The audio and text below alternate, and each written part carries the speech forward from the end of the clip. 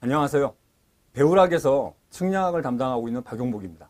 배우락은 여러분들에게 토목기사를 따기 위해서, 취득하기 위해서 어, 충분하게 여러분들의 이정표 역할을 할 수 있도록 최선을 다하겠습니다. 그러면 제가 맡은 과목이 측량이다 보니까 또 측량에 대한 얘기를 좀 해야 되겠죠. 측량. 토목기사를 준비하기 위해서 가장 문제가 되는 과목이 뭐예요? 측량이에요. 역학, 철근, 뭐 그건 두 과목이 비슷하고 토질, 수리, 상하수도 이건 뭐 외우는 과목도 좀 있고 또 연결이 또 계속 되죠. 근데 측량은 1강, 2강, 3강, 4강 연결이 안 돼. 연결이 안 되니까 장점은 내가 한 파트를 모른다고 해서 그 다음 파트를 공부하는데 문제가 되진 않아요. 단점은 할 게 많아. 할 게 많으면 우리 학생들 어떻게 하죠? 안 해. 안 하면 어떻게 돼? 40점만 맞자. 8개만 맞자. 막 이런 주의로 가는데 그러지 마요. 측량학을요.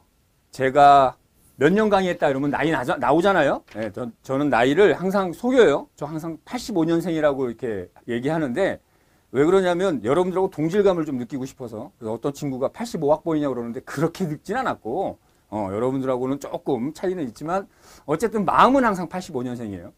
그럼 여러분들한테 제가 다가가는 방법은 뭐냐? 측량을 어떻게 해야 되겠어요?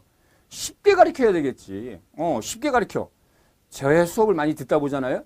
측량에 나와 있는 공식을 꼭 그렇게 풀어야 되는 것도 있지만 웬만하면 다 비례식으로 바꿀 거예요. 비례식으로 바꿔서 좀 쉽게 쉽게 다가가게 하고 또 너무 어려워. 그럼 하지 말라 그래. 하지 말라 그러고 답만 가르쳐 줘. 우리 이런 거 있잖아. 비장의 무기, 히든 카드 뭐 이런 거. 어차피 어려운 게 맞냐? 그렇진 않아요. 그냥 어려운 거를 내가 다 풀려고 하지 말고 답을 외워버려 그냥. 관연도 문제에서 기출문제로 나오니까. 어, 그렇게 가는 방법도 좋다. 하지만 20문제를 다 맞춘다. 그건 어렵다. 한두 문제는 틀려줘야 된다. 양심상. 그러니까 측량은 한 90점만 맞겠다라고 하는 너그러운 마음으로 우리 시작해 봅시다라는 거죠. 그럼 측량 뭘까요?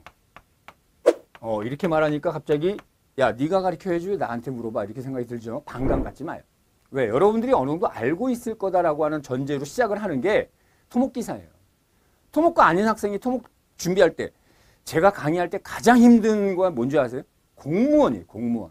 공무원은 토목과가 아닌데도 막 와.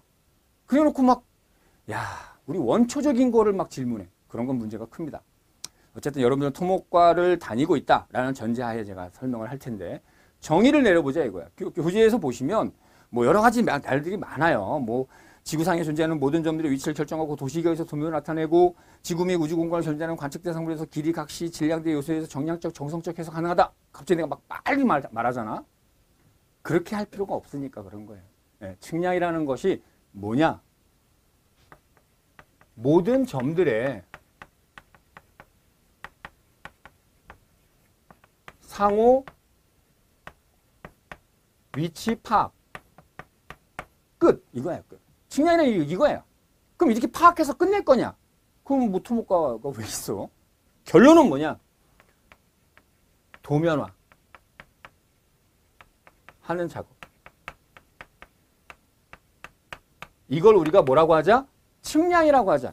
제가 정의를 내리는 거예요. 왜 제가 이런 말을 하느냐? 지금 보시면 여기서 가장 핵심적인 말이 점이라고 하는 말이 중요해요.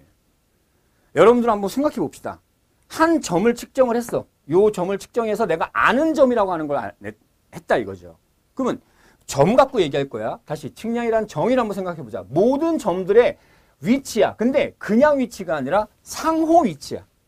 이 점과 요 점 간의 상호 위치를 어떻게 하겠다는 거야? 파악하겠다는 거야. 그게 측량이다라는 거죠.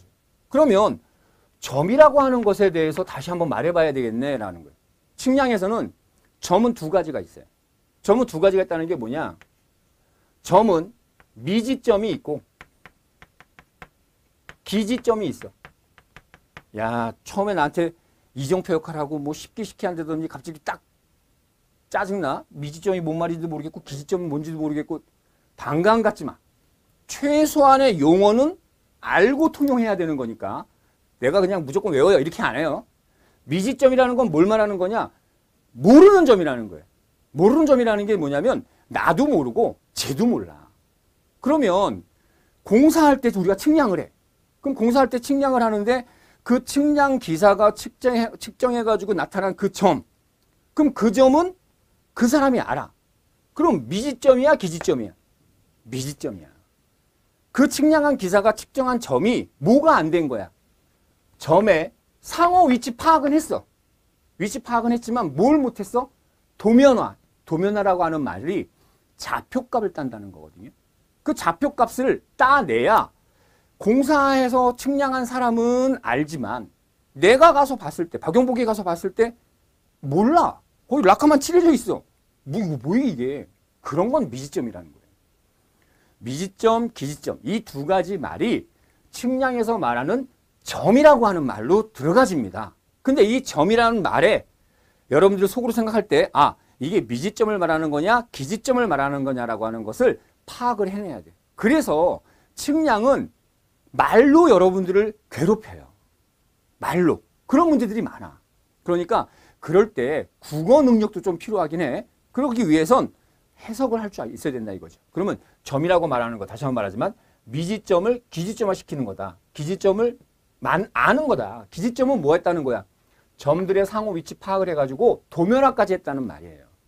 그러면 이 미지점을 기지점화 시켜 나가야 될 거 아니야. 그게 측량이라며. 어, 그러면 어떻게 하는 거냐? 어느 책에도 어디에도 어떤 교수도 여러분한테 알려준 적이 없을 거예요. 우리가 지금까지 맨날 점에 대한 얘기를 한 번도 해본 적이 없거든. 그럼 왜 자꾸 야 박용봉 너 점에 매달리냐? 어렵게 생각하지 마라. 왜냐하면 점을 측정했어. 그럼 그 다음 점, 다음 점, 다음 점, 점점점점점 하면 어떻게 돼? 선대잖아요, 선. 아니에요? 점을 쫙 연결하면 뭐가 돼? 선이야. 선을 쫙 연결하면 면이야. 그게 뭐야?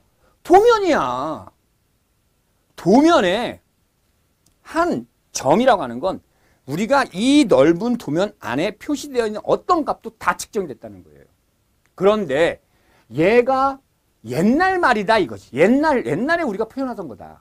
현대에서 측량이라고 하는 것은 그러면 이렇게 되는 거냐?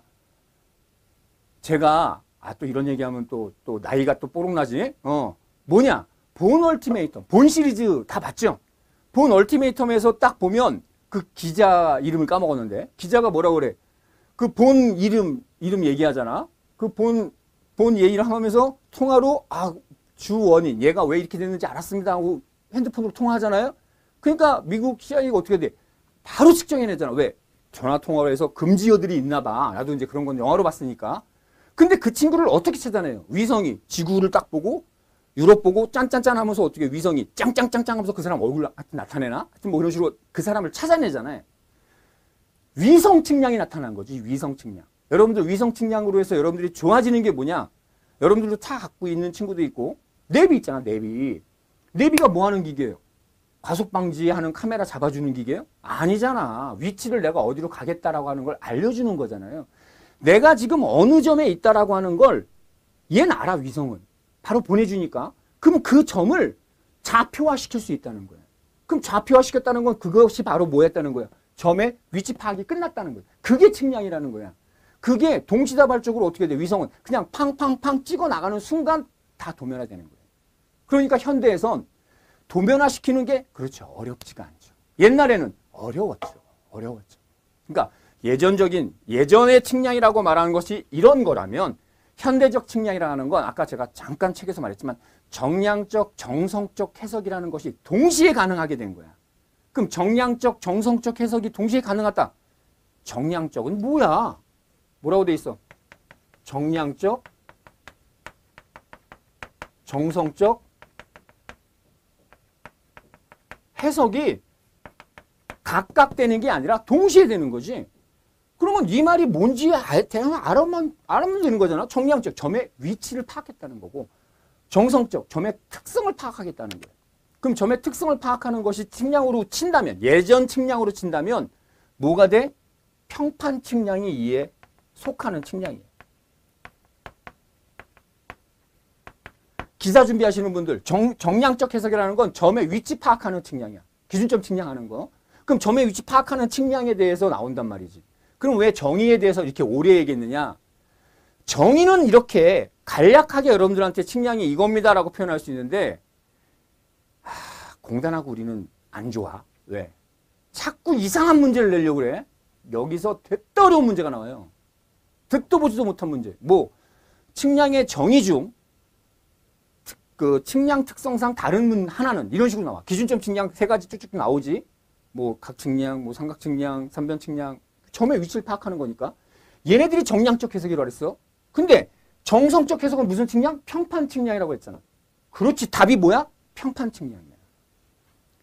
뭔지 모르겠어요 라고 한다면 정의에서 정의에서 시험 문제를 물어봤는데 1, 2, 3, 4 중에 평판 측량이 있으면 얘가 답이라. 이렇게 가자 이거야. 다 외워야 돼. 아, 다 어- 여러분들 안 외울 거잖아. 그리고 외워도 시험 볼 때까지 안 가, 기억이. 어, 그러니까 이 말 나왔어. 측량의 정의에 대해서 문제에 나와. 정의에 대해서 나왔는데 1, 2, 3, 4 중에 평판 측량이 있어. 그냥 찍어 그냥. 답이야 걔가.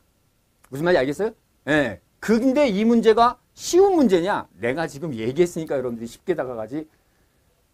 뒤지기 어려운 문제인 거예요, 그건. 왜? 측량에 그걸 다 들어가야 되니까. 어, 어려워, 어려워. 하여튼 어려우니까 그렇게 이해해 주시고. 그리고 기, 산업기사에서는 안 나와. 이 어려운 문제라 기사에서만 나와요. 예, 그러니까 하여튼 정의에 대해서 나왔는데 1, 2, 3, 4 중에 평판이 있더라.